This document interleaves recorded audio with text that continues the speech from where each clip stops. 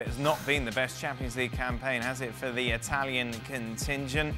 Uh, Atalanta in trouble, aren't they, going into the second leg of Valdebebas against Real Madrid. Real Madrid with a 1-0 lead going into this clash this week. They are 7-2 on Atalanta, 5-2 uh, outsiders.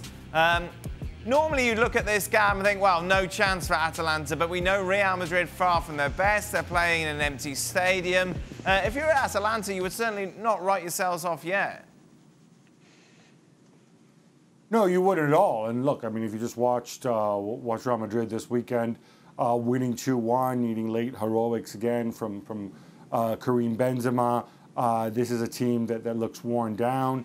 Uh, it's a team that does have Sergio Ramos and Eden Hazard back, but they're just back from injury. You know, they're obviously not going to be 100% match fit. Um, you certainly you like your chances. Do you think the ingredients are all there? The key question for Atalanta is how do you play this? Because if you go out, we've, we've talked in the past about Atalanta have changed a little bit. They still are extremely attacking, but they don't necessarily go out and you know try to go man for man all over the pitch and try to press the life out of you uh, all the time the way maybe they did uh, a year ago.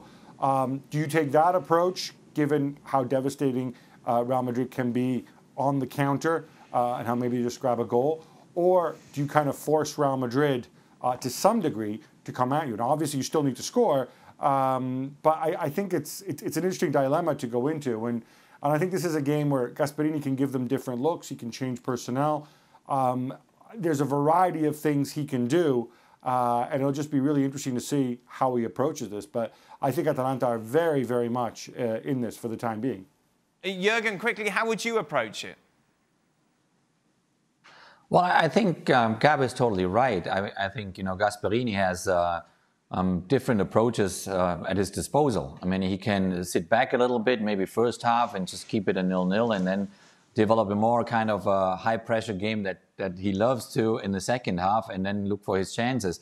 I think they are uh, absolutely capable actually to turn this result around. Uh, I mean, they, they lost the, the first leg uh, just at the very very end and they played a, a, very strong match with them. So there's a lot of respect for Atalanta from from the Real Madrid side as well. And players like Zapata or or Muriel or or Pessina, they can they can damage you in, in a split second.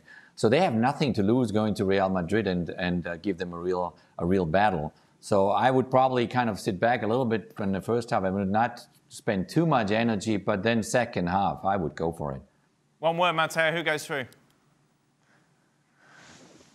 Real Madrid. That's two. Well, thank you very much for watching ESPN on YouTube. For more sports highlights and analysis, be sure to download the ESPN app. And for live streaming, premium content, and let's not forget as well, ESPN FC seven days a week. Subscribe to ESPN Plus.